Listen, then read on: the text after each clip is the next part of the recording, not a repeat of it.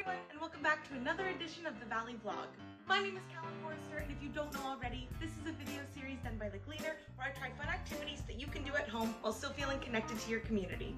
Every day further into summer that we get, the more I just want to lay by the pool with a glass of lemonade and a good book. And I've made homemade lemonade before, but I feel like every time I make it from scratch, it's missing something. Today, I'm going to show you how to improve your basic lemonade and how to elevate it for that extra zhuzh. Hot, I'm thirsty, let's get started. All you need for the basic version of this recipe is about eight lemons, half a cup of sugar, a cup and a half of lemon juice, and some water. And then for a more advanced version, we have some strawberries and some basil. Start by making some lemon sugar. To do this, combine three tablespoons of lemon zest with half a cup of sugar.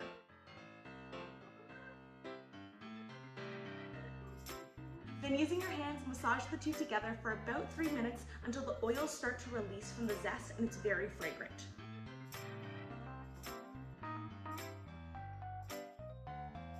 Juice your lemon so you have about a cup and a half of juice. Now mix that with your zest and sugar and this will become a lemon concentrate.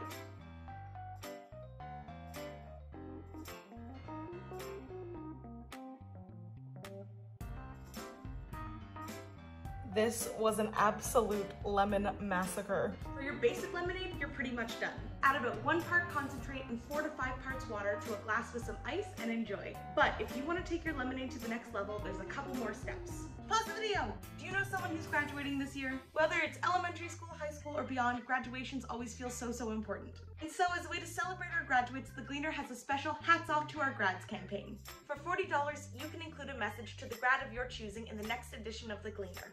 Our deadline is coming up really soon, so if you want to submit, use the link below or email promotion at thegleaner.com with any questions. Okay, now back to our video. Start by finely chopping some strawberries and some basil.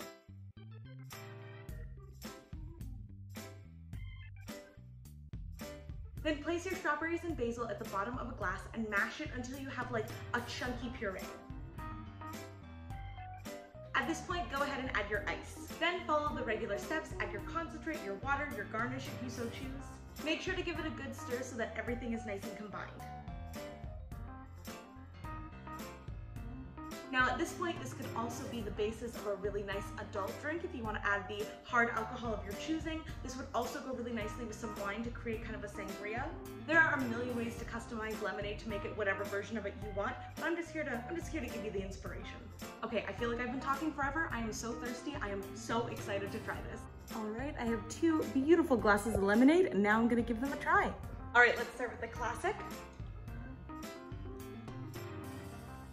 Oh, oh my God. I don't know, okay.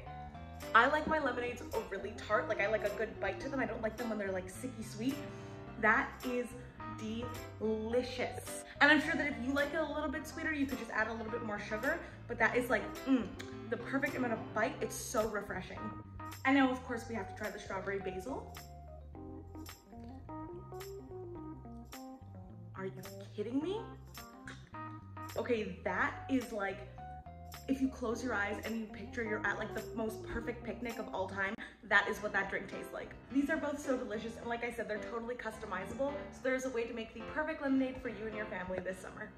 That concludes this week's edition of the Valley Vlog. Thank you so much for watching. But before we go, we have to remember to put something in our Good Things of 2022 jar. This could be anything big or small, it's just about celebrating something positive every single week. Week, I got to host a show with one of my best friends. I've been performing in the show for years, so finally getting to host it was really cool.